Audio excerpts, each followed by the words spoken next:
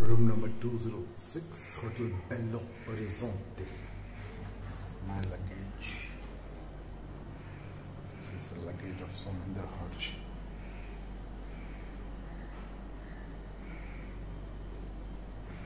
This is the bathroom here.